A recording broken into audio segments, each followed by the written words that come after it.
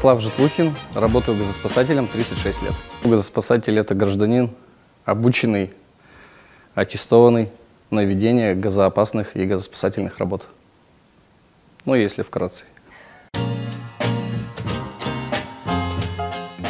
Обучение на газоспасателя э, проходит э, в Центре аварийно-спасательных формирований, э, который находится значит, в городе Новомосковск, э, Тульской области.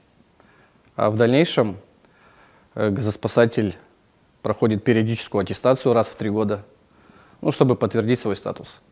В случае непрохождения такой аттестации он теряет статус спасателя.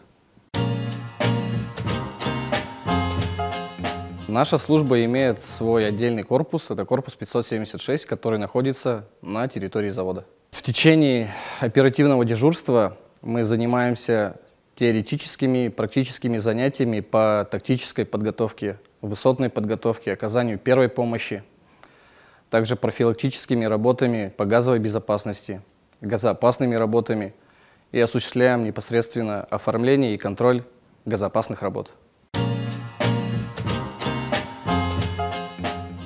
Да, наша служба является объектовой, поэтому мы находимся на территории опасного производственного объекта. Как таковых командировок у нас нет, если только командировки, связанные с учебой и аттестацией в Центре аварийно-спасательных формирований. В целом ограничений по возрасту нет. Газоспасателем может стать любой гражданин, не моложе 18 лет и ну, физически развитый, не имеющий медицинских противопоказаний. Среднее специального образования достаточно для того, чтобы стать газоспасателем.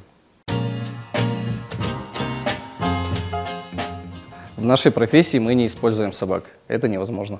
Но они же не умеют работать в дыхательных аппаратах. Не научили. Но чаще всего информацию об аварии мы получаем от начальника смены завода, э, либо непосредственно при, при профилактических объездах, обходах территории.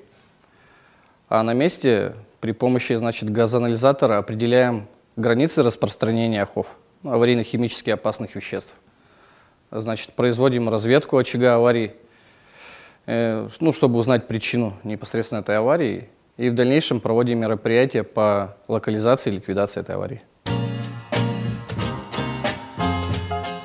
У нас на вооружении ГСС э, состоит две единицы техники.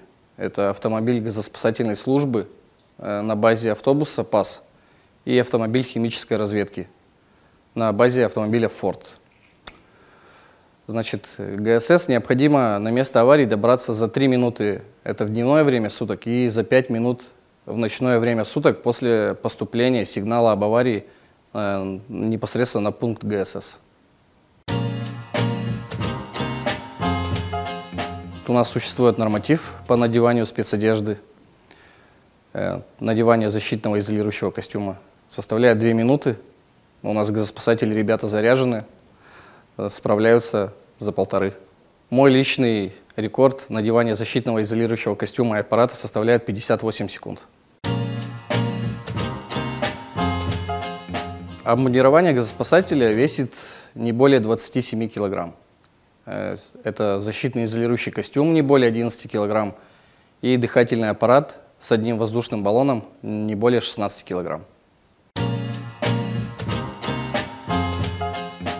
Ежесменно мы занимаемся общей физической подготовкой э, согласно графика занятий практических э, с дальнейшей сдачей нормативов э, раз в месяц. Это подтягивание, отжимание, пресс и приседание со штангой.